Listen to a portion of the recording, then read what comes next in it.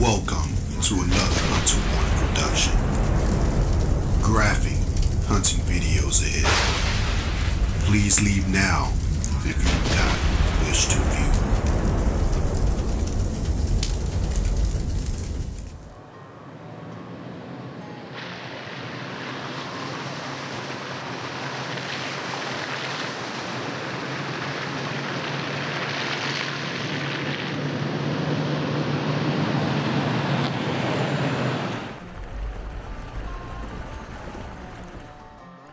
Welcome back, everyone. In this episode, we will be chasing rock chucks with the Savage Predator 110 chambered in 22 250. The yellow bellied marmot, also known as the rock chuck, is a large, stout bodied ground squirrel. They typically live above 2,000 meters or 6,500 feet in elevation. Hibernating burrows can be up to 16 to 23 feet deep. However, the burrows constructed for daily use are usually about 3 feet deep. While they may look harmless, they can carry various diseases that you do not want any part of. Additionally, they are related to ground squirrels, and you know how I feel about those. So, in this episode, we will be taking them out. Hello, everyone. Uh, Hunter One here with you guys today. Out here with Eric Mayer in Idaho. Just uh, completed my first marmot hunt, uh, rock chucks for those of you who call them that. And I got to tell you, it's just been beautiful. It's been amazing. Uh, first time out here, and it's just it's just everything that I thought it would be. Um, as you can see, there's a, a marmot here in front of me. That one was taken at 352 yards. Uh, I'm using a Savage Predator 110 chambered in 22 250. Right now I'm running the Hornady 53 grain VMAXs at about 3,689 feet per second. And you can see it really did a number on this guy. Um, a little bit about this rifle is that we put a lot of work into making sure that they are accurate. And it really is, it's just a tack driver. So um, I'm more than happy with the way that it's performing. Uh, a little bit more about it on the end here. You see it comes, it didn't come with the muzzle brake, but I put a WIT machine on there and it really tames down the uh, minimal recoil that it has and uh, just increases the accuracy just that much. Have a 24 inch fluted barrel on there. Um, really gets hot because this this gun runs really fast. So, but it's but it holds its accuracy pretty well. I have a 20 MOA base on there, and I'm sporting the Discovery EDPRS 5 to 25 by 56 first focal plane scope. It's a 34 millimeter tube, and it lets in quite a bit of light. So taking those long shots, you can definitely get it done. Um, with the Hornady 53 grainers, I'm averaging about, I say about a half inch group. My best group ever was 0.237 at 100 yards. So, and it, it, it does it over and over again. So, um, high level of confidence here. Uh, this also comes with the adjustable comb. It comes with all that stuff, length of pull. It has the uh, Savage AccuTrigger on there, which is a great trigger. You just feel every stage as it breaks, and just a, just a great rifle. Um, making for a great hunt and can't wait for the next one. In this episode, the rifle is set up in this current configuration. However, when I return, I changed to an MDT Oryx stock, and I really like the look of it. You will be seeing a lot more from this one, so stay tuned. Okay, that's enough talking. Let's get into the hunt.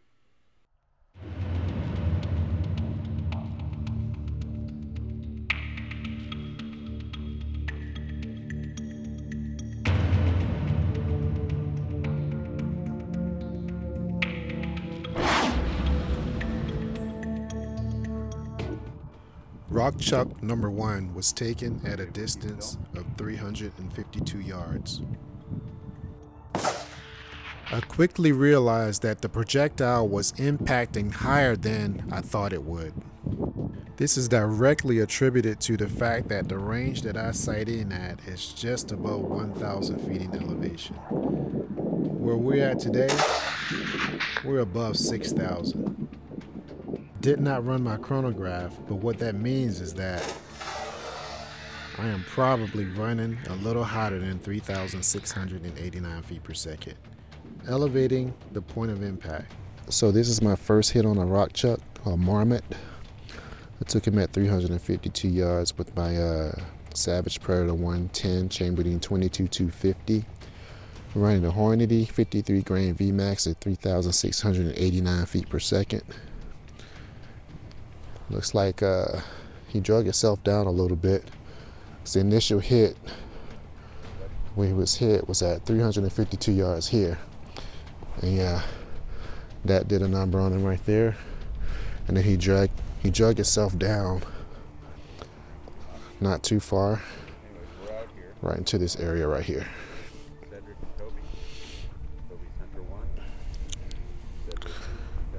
Here we go.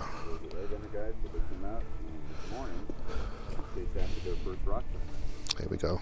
So Lights out. 22250 22250.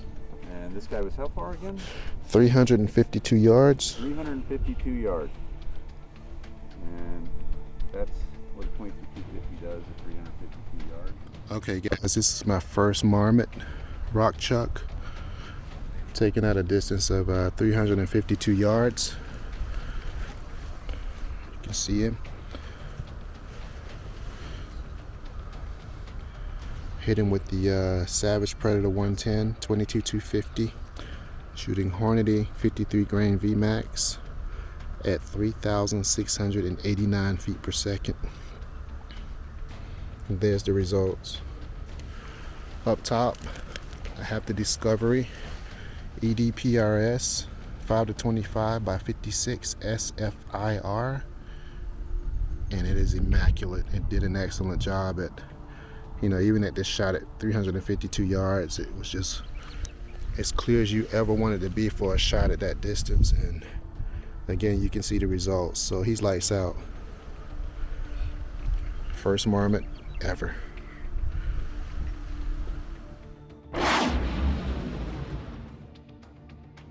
Here's another rock chuck, taken at a distance of 214 yards.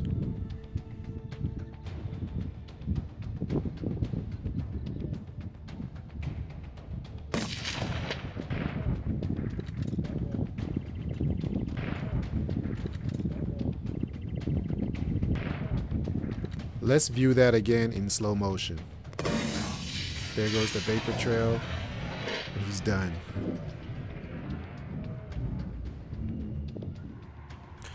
I know this terrain may look easy, but we are literally on the side of a mountain.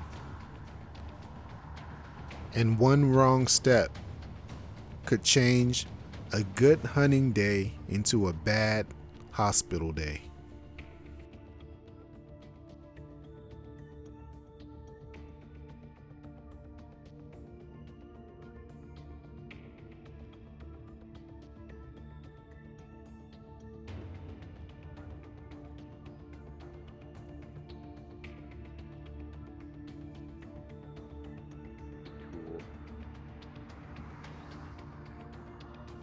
Here's another rock chuck that was taken with the uh, Savage 110 Predator 22 250, 214 yards.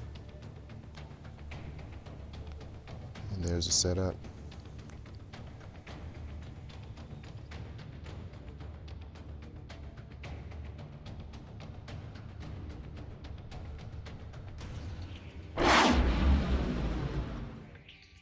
In this chase, you have to give me a pass. I was on very uneven terrain and balancing on one knee. But as you can see, we still got it done. There it was again in slow motion. And he's definitely lights out. And here's the result of the Hornady 53 grain VMAX at 3,689 feet per second. Yep. I don't even know how far he was. You guys know? 90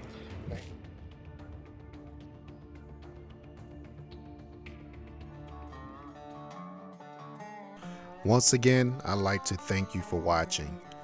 And I'd also like to thank Eric Mayer from Varminter Magazine for some of the awesome clips that you've seen in this episode.